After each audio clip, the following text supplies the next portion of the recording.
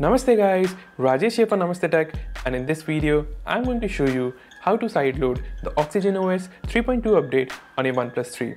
The update was just released by OnePlus and among other things it introduces an sRGB mode for the display and improves the RAM management thereby leading to better multitasking performance. So before we begin with the steps, there are two things that you must know. First, your OnePlus 3 must be running the stock build of Oxygen OS and should not be rooted. Second, I'm assuming that you already have ADB and Fastboot set up on your PC. If not, I have linked to the guides in the description below which you can follow to set them up. So the first thing that you need to do is download the Oxygen OS 3.2 OTA update file from the link given in the description below. Next, you need to boot your OnePlus 3 into recovery mode. There are multiple ways of doing it, but the easiest way is to enable the advanced reboot option present under the hidden developer options menu.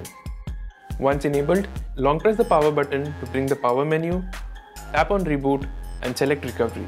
Tap on OK when prompted. Once your OnePlus 3 boots into recovery, tap on the English language option.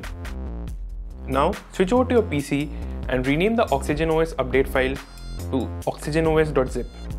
Then proceed to open command prompt or terminal and then type in adb space sideload space oxygenos.zip.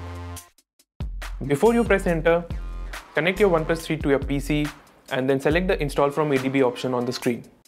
Then press enter in the terminal or command prompt window and then wait for the update to be sideloaded to your handset, after which the installation procedure will automatically start.